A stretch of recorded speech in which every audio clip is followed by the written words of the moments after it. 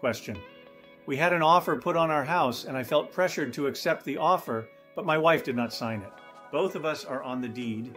Are we still bound to sell the house even though she did not sign? I'm real estate and contracts attorney David Soble, and here is my answer to this question. So, contractually, your wife's signature is required. However, there's always a caveat in law. So, if your wife acted in a way suggesting an agreement, the purchaser might have an equitable claim. Examples sending an email to the agent or expressing interest in a new house.